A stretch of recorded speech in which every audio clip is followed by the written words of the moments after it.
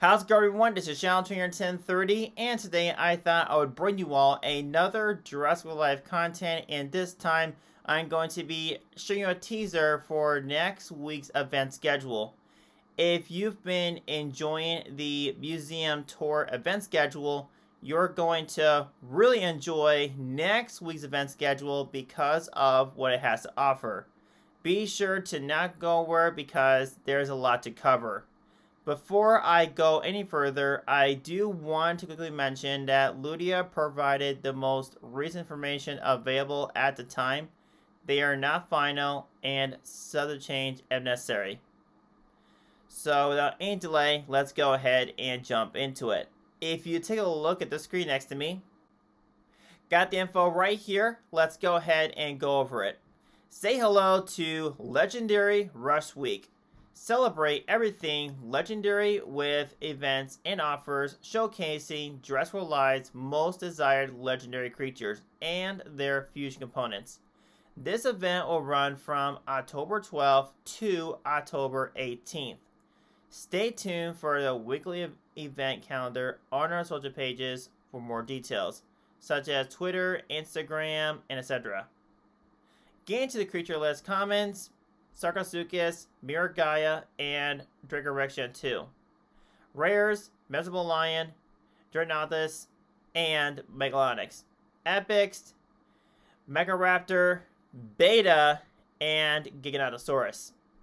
Legendaries, Tarbogathus, Lechosuchus, Dragactylus, Rexy,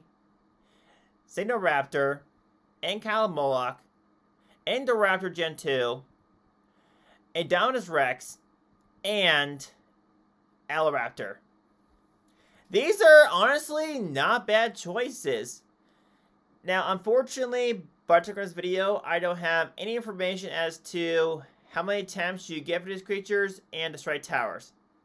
But I can tell you all that for epics, most likely players are going to be darting beta. Reason because of how really good Compsoraptor really is. Speaking of which, I've been hearing throughout the Forum Ludia website that players are complaining over Compsoraptor. Now, there are reasons. First of which, the moveset's really good. Second of which, it's like, even if you have a low level, it can still do pretty well against a high level creature. So if you guys want me to make a guide video as to how to counter Compsoraptor even with boosts, let me know and appreciate it. I'll be sure to make a video as soon as I can. As for the legendaries, now it's a mixture between players of darting Rexy and Ankylomoloch.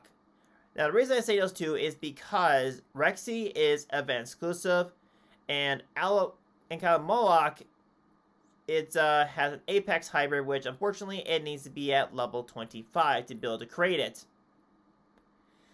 Now, if you're one of the players that do need uh, Dominus Rex to be able to create its Apex hybrid, then there you go. But do remember, a Dominus Rex is pretty difficult to dart. That's everything that Legendary Rush event schedule has to offer so far, and that's all I cover for today's video. The purpose video is give you a teaser for next week's event schedule. I give my thoughts and etc. Now, let me know in the comments below thoughts I cover here. Are you looking forward to the event schedule? Which creatures are you playing the dart the most?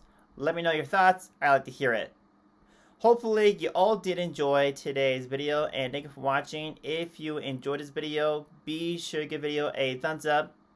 Check my channel, subscribe bell for more content videos. And as usual, see you all in next video. Until next time, hopefully you all are staying safe, being healthy, and most important of all, keep each other safe.